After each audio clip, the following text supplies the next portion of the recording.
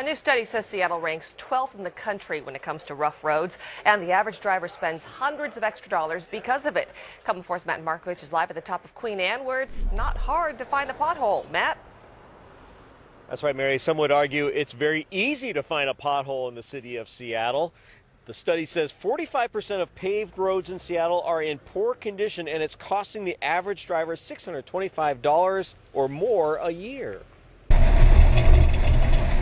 Rattle, rock, and roll. That's what it's like driving nearly half of Seattle roads, according to a new study.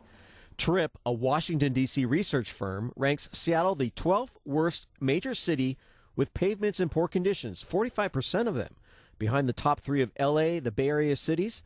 Hugh Rogers would agree. The potholes are just very noticeable yeah. when you drive a car like this. His low profile wheels are more susceptible to blowouts and potholes. He's had one. The city is putting so much money into bike lanes that we're ignoring uh, the potholes. Speaking of money, the study found rough roads cost the average Seattle driver $625 annually, behind the top three of LA, Tulsa, San Francisco, and Oakland. So, how do they come up with that number? Well, it's a combination of depreciation on your car, extra gas, and maintenance like shocks. Meineke Car Care has seen that firsthand.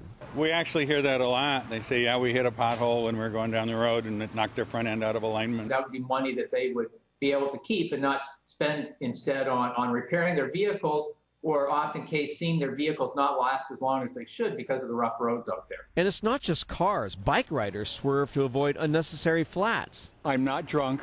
I'm avoiding the, the large cracks and, and holes in the road. This year, Seattle's transportation budget included more money for non road projects. And the state's transportation budget was a bare bones one when it comes to road maintenance. But keep this in mind the study's authors are supported by contractors who build transportation projects. It's cheaper to pay for roads being kept in good condition than to pay for driving on rough roads.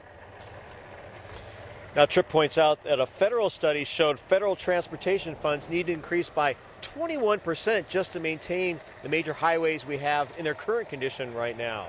Reporting live in Queen Anne, Matt Markovich, KOMO 4 News.